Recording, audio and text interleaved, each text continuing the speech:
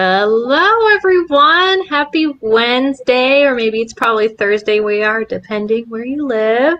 I hope everyone's having a great whatever time it is for you. I know it's evening time for me. I think for most of us here, it's evening.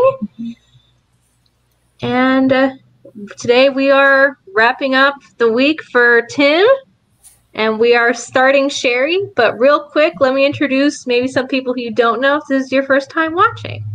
So my name is Sarah. I am a WikiTree team member. And then next to me, we have Mindy, who is our overall WikiTree coordinator. We nothing would happen without Mindy, I think. and then next to Mindy, we have Christine. She is the captain for Tim's week. She's been hard at work perfecting his tree. And then we have Tim, you know, our our current genealogy guest star. And then next to Tim, we have Cheri, who we're kicking off pretty much right now. and then next to Cheri is Karen, and Karen is Cheri's team captain. And that's everybody who's here. So maybe this, like I said, this is your first time watching and you don't know what WikiTree is. But Mindy would love to tell us all about WikiTree and what we do. So yes, I would. WikiTree is a community of genealogists who are working together on a single family tree. so unlike a lot of other genealogy sites where you work on your tree and I work on my tree and we probably never talk, on mm-hmm. WikiTree we get to a common ancestor and we all work together to find information, share sources, and resolve any discrepancies on the profile. So in other words, we collaborate to grow an accurate single family tree that connects us all. And most remarkably, it's free. We all love free. Thank you, Mindy. And that is WikiTree. Mm-hmm. And now the WikiTree Challenge.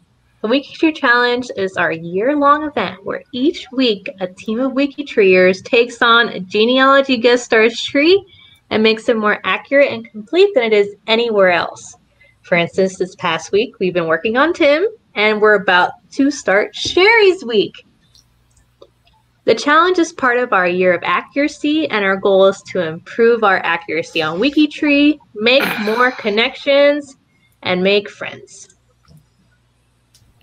Right, and I'm going to go ahead and explain to you a little bit about our point system. While we're working on the challenge, points aren't everything, um, but they are, you know, they give us some motivation, and we all work together to earn those. So on the spreadsheet that you see on the left, we put the profile we're working on. Um, sometimes we have 40 to 50 genealogists working at the same time, and you don't want to be all tripping over the same three profiles. So that's how we keep track of which one we're on at that moment.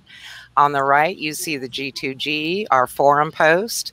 Um, each guest has their own post. We can go in and post questions. We post our bounty points there, new relatives, um, things we found, stuff like that. and then this is our biggest means of collaboration. And honestly, I don't know how we do it without it. We do our live chat and Discord.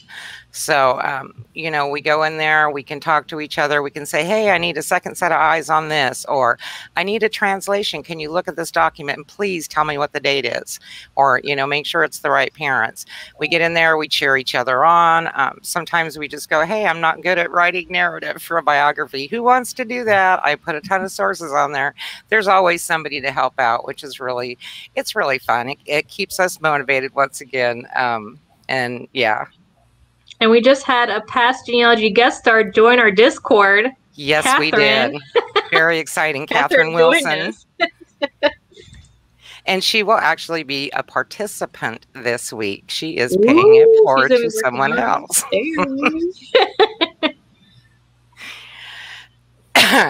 okay, and then this is our top five where I kind of hinted at the points. Our MVP is our most valuable player. Now, they can get points two ways. They can get bounty points for every brick wall they break or a correction they make on WikiTree. Um, they get individual points for every one of the nuclear ancestors. So, a direct line ancestor, their siblings, their children, the system automatically gives our participants a point. And, you know, it's just a little fun way to keep track and, and get people going if, if things slow down during the week. So, um, Anonymous Sharky was our MVP and top five player this week, um, participant. Then it was Donna Bowman, Carol Keeling, Joan Whitaker, and Alice Thompson.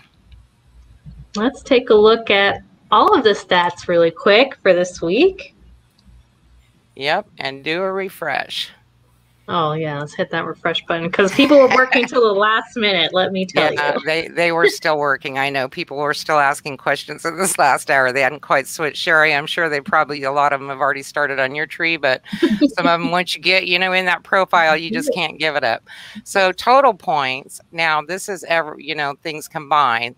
Um, any ancestors or the nuclear relatives that are um, added, it's 357 points.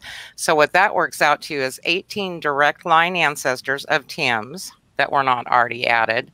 And then created relatives, those are those nuclear ancestors I was talking about, and there's 219 of those. Now, bounty points, once again, this is either a brick wall ancestor or a correction we made on WikiTree um, is 120 points. So that's 12 ancestors that were added or um, or corrected on Tim's WikiTree branches. Now for profiles edited, we had a unique 606 unique profiles edited. So, you know, with a small group that we had working, about 30 people this week, um, that was amazing. And then total edits over the week's time was 2,574 edits. So, anytime somebody went in, added a source, fixed a date, did something, um, over 2,500 edits. That's incredible. Yeah, did a great job. 12 brick walls broken, and we're going to reveal those momentarily where Christine is going to tell us all about Tim's tree. right. Well, I'm going to do my best because, as usual, there was so much going on. It was difficult to keep up with everybody's hard work. Um, the first one we're going to look at is Peter uh, Jacob Janzen. And there was some uh, brick walls broken up in Renatha Miro's um, line. I think it's Renata. I think that's Renata. Correct. Yeah, Renata? Renata. It's a German name. Okay, I need to learn some German apparently. So, um, anyway, her father um, gained a father and a grandfather. So um, those lines went up. We still need to fill in all of the um, the girls. We're missing all the mothers, but that's not unusual, I don't think. Yeah, and there's such a shortage of the records. It's really unfortunate, you know, that yeah. um, even when you do find like a baptism finally or a marriage, it'll just list the father's name. There is no mother's. It's not like where sometimes the American or English records, they just put the first name. On yeah. some of those, you don't even get a first name on the mom. I'm just impressed that we can find any of these really early German and Prussian um, parish registers mm-hmm. and then translate them. and then and get those profiles made. Um, and then up, uh, still in the Janzen line, um, we added some people to Isaac Bourne. So he was married first to Maria Behrens, and there was um, a little bit of confusion about how many children she had because she had passed away and then all of her children were baptized a significant amount of time after that. But we learned that because they were Mennonite, that was um, a tradition that they had that they would baptize the children not immediately after they were born, but much later when they were adults. So we don't know exactly when she did pass away, but we know that she was buried um, two days before Christmas in 1775. And her four children were then baptized between 1767. Uh, they were born between 1767 and 1775, and they were baptized um, between 1787 and 1790. And then he was married again in 1776, so a year after Maria had passed away. And he had two more children with his second wife, Anna. And I know we have a free space page about um, that church, well, the Mennonite church. So it's an example of what you're not just making profiles, but also other aspects like free space pages. And this wasn't even included in the edits for the total points. So right. This yeah. didn't count, just extra stuff we like to do. And that shows you um, a little bit of history about that particular area's church and, you know, what their difficulties were. And it also lists some of Tim's ancestors that were uh, baptized, married, and perhaps even died, you know, in that parish, and services were held at that church. So that that's kind of fun to look at. And this really helps bring the whole story to life. It shows the community, Mm. um, where you're not just looking at one person and you know here they were born, they were married, they had some kids, they died. They died. the You know, end. You're you're seeing how everybody was connected. You know the way that we we still are today through um, through various communities, whether it be church or uh, work or otherwise. Yeah, that's what we Those treat all about getting getting more than just dates and names, getting all Mhm. of the facts together. And then we had uh, some people working on Elizabeth Lawrence. Um, so the family had come to America on a ship that was called the State of Nevada. Now, there's two different people who had um, recorded when they when that ship actually docked. We know it came in August of 1875, but we have one record saying it was the fifth and one record saying it was the eighth. Um, but either way, uh, they came over in 1875 in August um, and they docked at uh, Antwerp in New York. Um, Diedrich had a brother, Heinrich, who came later on another ship um, in 79. Um, and then they Mhm. all moved out to Nebraska, which must have been, I can't even imagine, in in the 1870s, traveling from from New York to Nebraska and all Hmm. the things that they must have gone through to get there. Yeah. And then we have Peter Peters, who I thought was going to be difficult, but almost immediately there was definitely some records found. Um, his father was also Peter Peters, um, and they were from South Russia. And I know that the names there are, are the geographical names are always changing. Um, but eventually there was, uh, after everybody was uh, creating um, jobs and factories and everything, there was um, a five year period where there was, in around 1920, where there was a uh, plague. And I mean, we see that um, a lot of times. We see that in Ireland, we see that in Europe. But this was the impetus for um, a lot of these families to um, to leave, to emigrate, and uh, some of them came to Canada, um, and some of them just moved around. They went to Prussia, and then we have a record, or we think that he died around 1930 in Russia. Uh, Peter did, but that line got extended.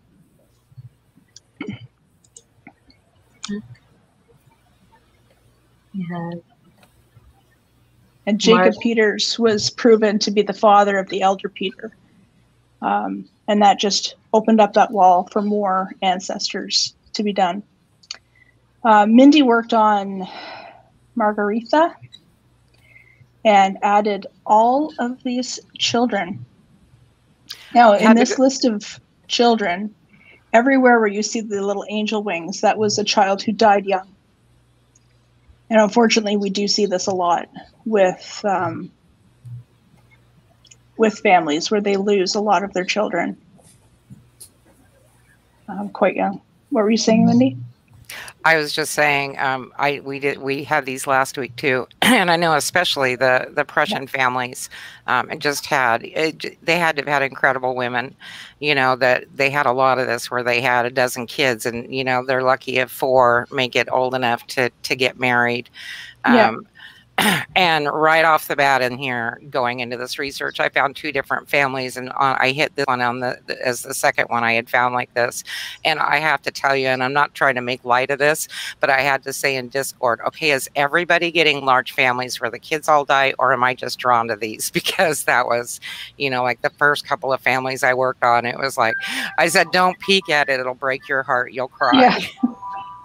Mm. No, unfortunately, yeah, we do we do see that a lot. Um, and even we didn't. There was uh, a lot of families last week that we didn't even talk about, but we saw that with them.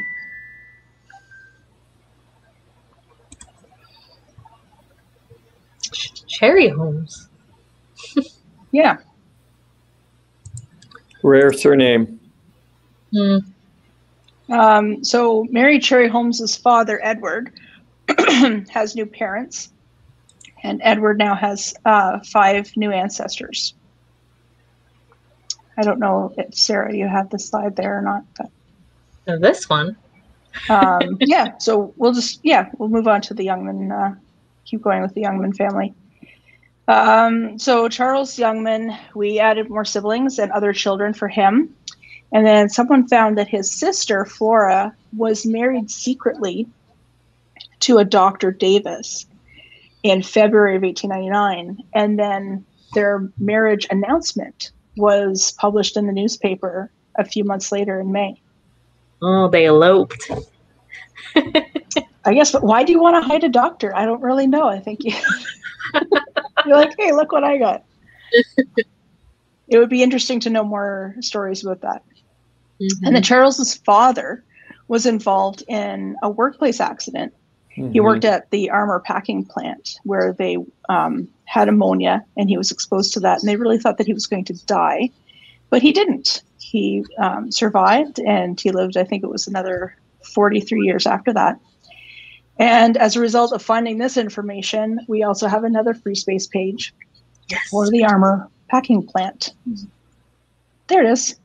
And he there's a was little picture of it. responsible for the refrigeration in that pa- packing plant.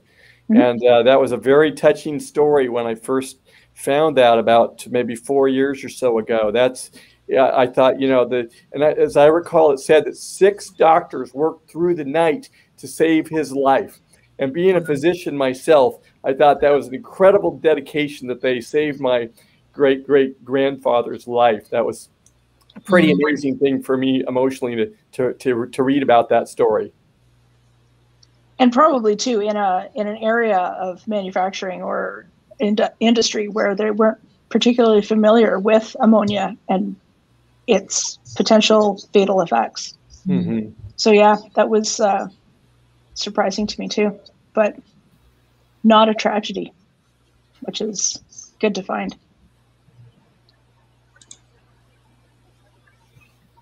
Um, unfortunately, we do find tragedies. So um, I think this was. Uh, I think this is Lewis's. This is the Fannons, anyway. It was Um, Charles Yeah. Charles' Was it- maternal aunt. Right, right. Mm-hmm. So she was uh, a daughter of John Allgood. Um, anyway, for whatever reason, um, her husband suddenly uh, killed her one day. Um, and there's quite a few articles about it in all of the newspapers. Um, their children were grown by that time. She was 52. Um, and the, the best they could surmise at the time was that maybe he had been drinking and decided to come up behind her and kill her. And then he killed himself. And they, if he hadn't, they had already set up a, a lynch mob. They were, the community was going to go and kill him anyway. When I So- first read that, I thought he was killed by the mob, but no, it was a lynch. Yeah, so they had formed a mob and they went to look for him and they found him in an outhouse and he had drank carbolic acid. And by the time they found him, he was already dead. Wow. We found a lot of good also- newspaper clippings for this. He also set the house on fire, but they were able to put the, the fire out, so they saved the house. For what it's worth.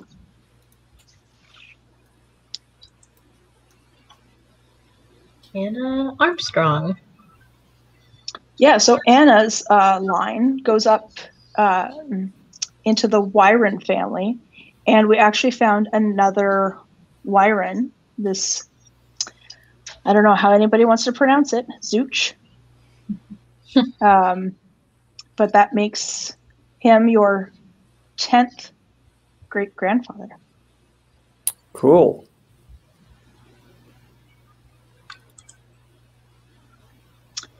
And then we had a lot of work done in um, in New York. Yeah, Uh, with with various um, guests that we've had we've had a lot of i mean where do you come when you come to america? You land in new york. And so a lot of families settled there. So it's not um, uncommon i wouldn't say for us to find that uh, ancestors of other guests that we've had have uh, settled in the same area. So we have this map of Cayuga County, um, and we have a free space page done to it for it, and you can see where all of the um, where all of the people had settled, and all everybody's um, identified like your ancestors and Thomas MacEntee's ancestors and Catherine Wilson's ancestors, where they all lived, and there was um, one of the uh, families, I think it was Sarah Dewey Root, the Root family, had 136 acres in Brutus. And it was, um, they received that uh, land grant. And then it stayed in the family, it sounds like, for quite some time.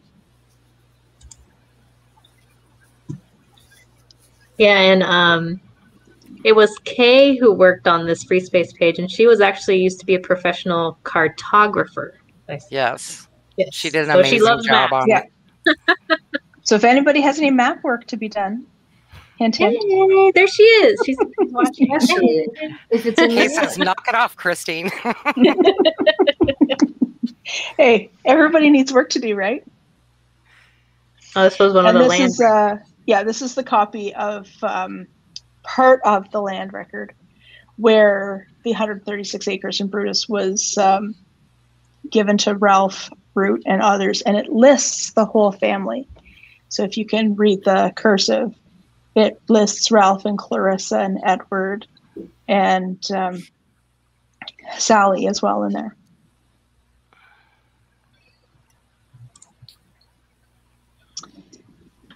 And I want to talk about this relationship finder. This is one of the tools that we have at WikiTree, which is great. Um, you can enter in two unique profile IDs, so yours and somebody else's, or if you're trying to figure out how two people in your family are related, you can enter the two IDs and hit the find relationship, and it will tell you the genealogical relationship of those two people if there is one. Now, of course, it's not perfect because, you know, in order for it to work perfectly, we need to have everybody on here, everybody's profiles done, and everybody's uh, families worked out with all the descendants and uh, spouses and so on and so forth. Uh, but uh, it was interesting, and I plugged a couple of um, IDs into it, and we found out that Dallan Quass potentially is your 10th cousin. Once removed. Cool. on the uh, on the cutter line, yes, I remember that line. Yeah, so you'll see like um, some of like one of his profiles up there is uh, marked as uncertain. So we just need to go through. You just you know, I'm sure that the research we're pro we're pretty good, I would say at WikiTree at sourcing. But um, if all of that is correct, then yeah, your tenth cousins. Very cool. Mhm. We're all we're all connected in in theory. Yeah. Everybody's connected. But it's fun to see how, you know, genealogy runs in the family. And then we get to uh, Parson McIntyre. So his dad was born in Harrison County, and in 1863 he was drafted for the Civil War.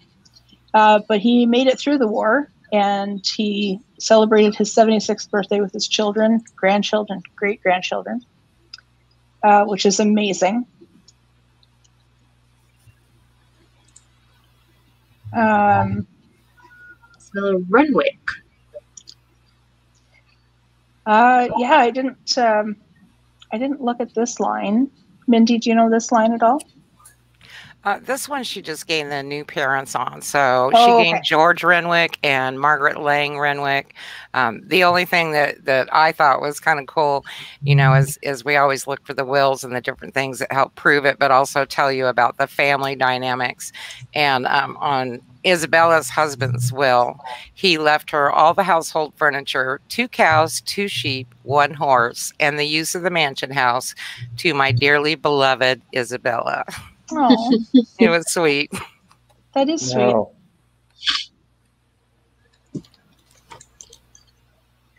Oh, I thought there was another one there. I think you just. Oh, I quickly- oh I clicked. was. Yeah. I clicked way Elizabeth fast. Um, she gained parents, I think, as well. Mm-hmm. Paul Paul Peasnell Peasnell. and Martha Knight. hmm They're both from Northamptonshire, England, and they were married in Tiffield, Northamptonshire, and had their children baptized in St. Martin, Litchborough. Great. And, and that that was all of the new ancestors interesting finds for for Tim. There was more. I just there was everybody was working so hard, and there were so many things um, to try to keep track of. And you know, when you only have seven days, it's Yeah. hard to get as much done as you want to. But Well, that's some challenging lines. Some of these are very, very challenging and will require, I think, more DNA analysis, which of course is my uh, my love and joy. So right, I, I I'm not giving up on any of these brick walls. I'm I'm going to continue to plug away on all my parents' matches and uh, my other relatives' matches to try to break through even some of those that you haven't been able to break through or I haven't I've struggled with for years. yeah, I'm not I'm not done yet either, but I appreciate all the effort. Yes, for sure. yeah. We- and we, it we like making the families too. Like I hate seeing, you know, when you have a, a husband and a wife and they only have one child, you know, they didn't have just one kid. Right. So, you know, we like to find the rest of the dozen. So hope, and all their Yeah. spouses and and hopefully by filling some of these families out for you, Tim, I know you already have an incredible amount of research, but hopefully it, you know, helps you in the long run um, find more records for the families and, and track where they've been. and more reasons to test. And and you're going to share like the research notes. Uh, um, for instance, like the Renwick situation is particularly uh, uh, that's that's a that's a definite break uh, breakthrough for for me because I had I hadn't really looked at that line in great depth. So uh, all the notes should be on all the profiles. all the notes will be on the Yep. profiles. Okay, That's the whole point. So whenever we find something, we have to put the source on the profile so that the Mhm. next person can come around and see where did you find that information. And it Right. should be in the citations and the sources. And we also put things like negative evidence, you know. So if I look in this Right. parish for this marriage record and I can't find it anywhere, I put that in there, you know, on Mhm. this date so that you don't go back later and look through that whole same parish. Mhm. Great. Yeah. Yes. I know there was a lot of that, you know, when we get into Wales and nobody knows nobody knows how to find anything in Wales except everybody who lives over there. Which Well, we the love. problem with Wales is that they're everybody has the same surnames, and it's very difficult to piece the families together because it's not really clear uh, which people um, were related to other people. And particularly if they moved, uh, then you're really, really stuck there in terms of the research. Yep. But our, our England project has worked, I would say, a fair number of miracles so far this year in Mhm, finding Yes. incredible, incredible resources mhm. and sources for um, for all of those profiles. And then, of course, our German project has been finding crazy amounts of records, parish registers, and and whatnot for everybody from Germany and Prussia, and it's really it's been fantastic. Absolutely. So, really quickly, because we had a question in the chat about something WikiTree related. So, let me, because Lewis was asking, oh, if we wanted to find a free space page, search to see if there's already one created, how would I find it? So, one way is you're in this special search page on WikiTree. You can get there simply by clicking the little search bar up there, and then you scroll all the way to the bottom and you can search like let's say the Armour plant right Armour packing Yep. and it will search all of wikitree there's ads at the front but it should come up. Well grab some other stuff too but in theory this would show everything on wikitree. That's how you basically search all of wikitree. You found didn't find this one particularly which is interesting but this is how you would search. And you can narrow it down to categories images help pages. So yeah that, that i just wanted to answer that question And I think in future, the more free spaces, free space pages that we create, then we can alter that search criteria to just look for the free space pages. And there's also a way in WikiTree Plus for those of you who know WikiTree Plus to search specifically for free space pages, but I won't show that right now. Thank you. but Tim, we so we broke down what 12, 12 brick walls? 12? Was that right? Did I say that right? There's there's brick walls and corrections, so yes. So 120 bounty points, 12 brick 120 walls. bounty points. Very good.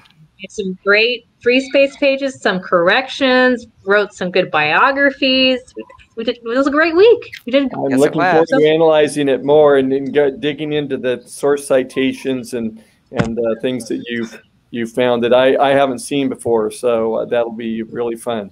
hmm So that, unless anybody has any questions for Tim, or Tim, you have questions for us, we will make our way into starting for Cheri's week,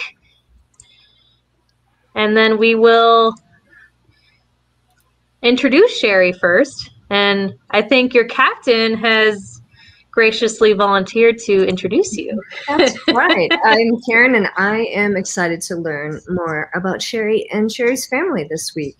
Uh, Cheri Hudson Passey, she's best known for her company, Carolina Girl Genealogy. And when we look at her ancestry chart, we'll understand why she chose that name. With her company, she does not only traditional client research, but she offers instruction. She gives classes and does individual coaching sessions and she enjoys giving presentations on family history and keeps a blog right at carolinagirlgenealogy.com. Cheri has also been part of a team of genealogical researchers who have worked with the U.S. Army to repatriate the remains of soldiers who have been listed as killed in action. The team employs their genealogical skills in conjunction with DNA testing to locate next of kin so that these war heroes can return home to their families. She's a member of a great number of genealogy organizations and a frequent participant in and speaker at genealogy conferences across the country. Just just uh, two months ago, we saw a number of presentations from Cheri at RootsTech. On top of all that, she hosts GenFriends, which you can find here on YouTube. So, do we have any questions for Cheri? Or, or Cheri, is, did we cover everything for you? Was that, did we do Great, anything? great. Thank you. You're a busy woman. I am so excited for this. I can't even tell you because I spend so much time doing genealogy for other people that I mean, I'm sure my tree looks really kind of pathetic. Yeah, a lot, a lot of our stars have said that that they focus so their time on helping others, and now it's our opportunity to help you. So, I'm privileged. Thank you. mhm. so Cheri, what got you interested in genealogy? Oh gosh, you know, I I really can't pinpoint a moment, but I do tell people that one of the first things that I remember just hitting my heart about family history was discovering. I, I- asked my mom when I was about ten years old why we called my step grandfather. In my head, it wasn't connecting. Who's a step grandfather? Why why did we call grandmom grandmom and why do we call Frank Frank? Why don't we call him grandpa? And so she hmm. explained to me that her father had died in World War II and that my grandmother had remarried and so that's why it just stuck. That's just what we called it. And so that's the first time i can remember just that heart you know getting into it and wanting to know more. And and then you know i was always a kid listening to all the family stories. So and so did what? And they had they married who? And they had how many kids and all that kind of stuff. And so it just just kind of evolved. I can't really say this is what got me started. I think i just was always interested. So, who's your favorite ancestor? Oh gosh, and people ask me that. I I I, I don't know. My most intriguing one is a great great grandfather who just walked away from home one day and they don't know what happened to him. There's all these theories, But Which one is that one? it's it's um, Bertram Campbell Price, and he was last seen with a bunch of money in his. Uh, he was going out to buy property, is what a court case says. Because I've got the court case. Says he was going mm-hmm. out to buy some land and he never returned. And so there's all these different rumors and theories in the family of whatever happened to him. So y'all can find him. I'd appreciate it. back then you could go anywhere, right? You could change your name. You could you could just I mean, you could move twenty miles away from home, and nobody would know that that's where you were. So You know, Cheri, I have a I have a grandfather that was like that, or a great grandfather rather. And you know, at the end of it, all told, when all the uh, mystery was solved, he had three different wives in three different places. He had kids with Oh, each yeah. of them. Mhm. The third wife didn't even know anything about the first two. And when I contacted one of her children, he was. Yeah. like, "You're lying. I- I've You're got one of lying." those. I, I've got one of those too, but I found the marriages and uh, ooh. And yeah, yeah, yeah, and people didn't know, and I said, "Hey the guys, skeletons that what?" fall out of the closet. Yeah. So, well, that brief story was very interesting. Do you have any other interesting stories about ancestor and any of your ancestors? Uh, most of them just led, you know, just just normal lives. I have a lot of military men in my family history. Um, I have a lot of people that just came to South Carolina and stayed, didn't go anywhere else. I joke and say my dad joined the military. He joined the Air Force, and he was the first one to really leave. So- and here I am back. That's awesome. I was I was born here, but I wasn't raised here. So, but we, my husband and I we, we came and moved here about 13 years ago. So, but um, yeah, I just I know that there's some other things probably going on in the family. That maybe I don't know about, but most of them were just well, my um, my grandmother's mother was supposed to have been adopted, and so the only the only the only record that I can find that um, that says that she was adopted, because everything else just says daughter, right? Was her wedding, her her marriage license because she was underage and her father had to give permission, and it was one of those things where I just cranked to the next page because everything else was just the front and the back, the front and the back, the front and the back, all the way through everybody's everybody's record. And for some reason, I just thought I'm going to keep going, and there it was. I give permission for my adopted daughter Wow. to marry. And Wow. things always go a couple of pages both ways. You never know what might be put in there. So, so I've got that. Um, Now, can't, Which, I'm so excited to see what you guys have. she says, I just want to hear your stories, your new Right, ones. and I wanna- yeah, I just want to see what you find. So when did when did you first discover WikiTree, Cheri? Oh gosh. Oh gosh, I can't even just I know I've had a tree on there forever. So- yeah, yeah. Looking at when you created some stuff, it looked like like 2013 when you um uploaded to GEDCOM. Yeah. Exactly. Exactly. And so, you know, I can't say they've been really good about coming back and fixing things, but I sure appreciate the people when I get, you know, um, an email saying we'd like to merge or somebody saying, I don't think that this is right. I'm like, isn't that why we're that? Because we want people to say, I don't think this is right. And this is Right. why I think that. Yeah. So, We might already have a little bit of that going on in the. In the probably in the Discord. We'll have to do that. and that's fine. That's good. I wanted, to, I wanted to be correct, you know? So, what are your current brick walls that you you know of that you have that you maybe you would want to bust through? Well, there's there's Campbell Price, but I don't know if anybody's gonna be able to figure out what happened to that man. And I I just don't know. Um, my uh, early family in North Carolina, um, I have found a cemetery with. Uh, um, there's a Martin and an Early, but I haven't been able to connect. I know that there's people. Um, I know there's people that are working on the line, and you know, people will say this is the mom, this is the dad, but they've got no sources, so you don't know. You know Yep. where they found the information, and you ask them, and they don't remember where they found the information. so, but um, so that's that's one of them too. I'd like to see. Also, my Doherty line, my uh, South Carolina Doherty line. I'd like to to know when they came in and where. Um, this is a funny story because those family stories that you discover that are not true. And my grandmother swore that her Dohertys came in, and in, the South, it's, it's Darty. They say Darty. anyway, her Darty family um, came during the potato famine. And I was like, oh, but they couldn't have because I keep finding it in the like, I hate, I hate to tell you this, you know. And then she had the whole story about, oh, there's a Darty reunion, and you know, they all came from Ireland in this one county. And I'm like, I, mm, mm. but, but part of that story might be true because there was a previous potato famine in the late 1700s. So perhaps that's when they ah. came and the family story, you know how they get twisted and turned around. So Yeah. perhaps there is a little truth to that. Or perhaps it's just that she made it all up because she didn't know her grandparents. They died when she was young. Both of her parents died when she was young. So I don't know. I don't know where she got this story from, but that, I'd like to know where my majorities came from in Ireland and when you know when they came to South Carolina. And I know there's a lot of people working on that, so there's a lot of people that would really appreciate it if we could find that. You never know, know, what we'll find. I know that's why I'm so excited. Now I know you said you're hoping to see new finds, but you know, keeping in mind what our challenge has been, Oh, what do you I hope know. overall to get out of participation? Um, I think just uh, a cleaner tree, a more up to date tree, a more source tree. Yeah, would that's that's really what I hope. That I we can do. could break down Mhm. some brick walls. That would be fabulous. That would be just you know icing on the cake. But really, just to know that this tree is is as as good as it can be in a week of all people looking at it. So Mhm. that excites me. That excites me. So Mhm.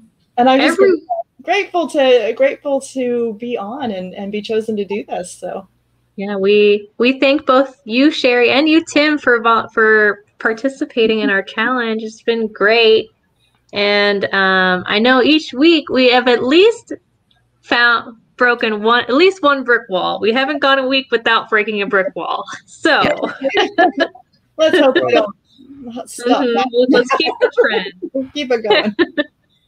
And we've broken over 200 brick walls in total, I believe, for the whole challenge. So Maybe more. I'm just kind of but yeah, it's it's been awesome. Oh look, we we have a whole bunch for- of guest stars watching. Ellen Mert's watching. Ellen's watching now. And actually hitting our, our month three mark is complete, our first quarter. We've broken down 237 brick walls. This Wow. was the one that got me at the end of those three months. You know, for those uh, edits I told you, every Mhm. time somebody added a source, fixed a Mhm. date, did whatever, we're at 39,904 edits from the WikiTree community. I mean, it's just crazy, right? Wow. and that that doesn't include that only includes nuclear relatives. So like any of the free Yeah. space page edits, or if somebody went off on a real tangent rabbit hole. so What a wonderful service that you're providing. That's it's just thank you. Thank you so much. Mhm. we Absolutely. well we Our thank pleasure. you It's been a lot of fun. Yes. Yeah. We've also just surpassed uh, what is it, eight million? Eight hundred thousand genealogy. I saw Oh, that. eight million with DNA test connections. No, not is it eight? Uh, I think it's eight hundred thousand. Oh, profiles. Oh, oh, oh, oh. Profiles. Oh. I thought you meant genealogists on WikiTree, but yes, Oh, 800,000 genealogists, yes. Mhm, with an eight over 8 million DNA test that. connections. I with that. twenty six And, uh, million, over twenty six million profiles on WikiTree. Yeah. and this challenge is just growing all of that beautiful WikiTree connections. So Good karma. great. Now, Karen, Karen, did you have any other questions for Cheri? Hi, Or do Cheri. we have any questions in the chat? All right. Um, Cheri, would you like us to copy any photos from your personal collection onto your ancestor profiles at WikiTree? And where would we find those? Would we look on your blog or your ancestry tree? Um, And- or are there photos that you don't want moved? Oh no, anything, it's fine. Anything that I've got posted on my blog, I've got permission to put on there from they're either mine, my grandparents, or I've asked for permission and the copyright is on there. So All right. And so that's yeah. that's a fun task for folks who um, who are you know not not familiar with the research in, in the area where we'll be finding your family and uh, you saw the free space pages like the packing company and uh, the land records in new Mhm. york that happened during tim's week and there's so many of these things that are part of history that just aren't evident on the vital records and the census and the probate and so I wonder if there are clubs and societies that were important to your ancestors. Are there some uh, of those that you might like to learn more about? Um, let me think. Uh, My I have several um, family members who worked in the mills in South Carolina, a lot of mill families. that um, Was it textile? yes, Ah, yeah. Uh, that, that, Olympic Mills in, in Columbia, um, Hermitage Mills in Camden. You know, they would just go. There's some mills in Aiken and and Charlotte. They would, you know, just go where the work was. And as a matter of fact, we just, my mom and I just went up and down the streets in Camden, South Carolina, looking for the house that her grandparents lived in, trying to figure out, you know, she's like, I think it might have been this one, but maybe it was this one. So Mm. anyway, so yeah, that would be great. And I have a lot of ancestors who fought with the swamp fox too. And I don't know if you've got a page, I'm sure you do for Francis Marion on there, you know. right. I'm I'm singing the Disney song right now. Yeah, I know. I post and put that on there with the people that fought for him. And, and so we talked about the employers and professions. We're really talking about the textile mill. How about um, any special schools or or colleges or um, that are dear to your heart? Uh, no, most of my people were real, you know, farmers and that. But I do have um, my grandmother's mother was sent to a Catholic school in Sumter, South Carolina, called St. Joseph's Academy. And I've been looking for records for that for a while. But yeah, so they sent her there. She's the one that was adopted. And then when her, when her adopted mother died, I guess the, Wow. her, her father just said, I, I need to put her somewhere. so they sent her to the Ah. school. Apparently, she just, I mean, they were Southern Baptists, but they sent her to Yeah. this, this Catholic school. Just loved it. My grandmother remembers her taking her over there when she was a child, introducing her to the nuns. And so, but And and like you said, uh, her family was Southern Baptist. Is that the main um, faith community that's been Mhm. important to your family over the some years? Methodists, some Presbyterians, yeah, but mostly those Baptists in, South Carolina. But yeah, there was some there were some Methodists and, and uh, Presbyterians as well. All right. We'll check the chat for more questions. But my last question for you uh, is um, sweet mustard or vinegar with uh, pepper or uh, the mild tomato sauce? Oh no no no the sweet mustard Piggy, Piggy Park all the way. All right. Thanks so So- much. So if anybody has any questions for Cheri in the chat or Tim or any of us for the about the WikiTree challenge, we'll we'll wait a minute or so just in case. But again, I want to thank everybody. I want to thank everybody who is watching, all of our captains, Christine and Karen. Thank Mindy, and then our guests, and then we have some guests in the chat. Just thank you, everyone. Everyone just made this challenge so fantastic. so I don't see any questions coming in. So with that, we'll probably head off. Don't forget, you can always find us at wikitree.com. We're on social media. So check us out. And then Friday, we have our Friday date night where we date lonely profiles. It's always fun. and then Saturday morning, we have our weekly live cast where I go over all of our updates about WikiTree and we talk about fun stuff. We look at photos, and my cat always interrupts. So it's great. Until next time, everyone, we will see you then.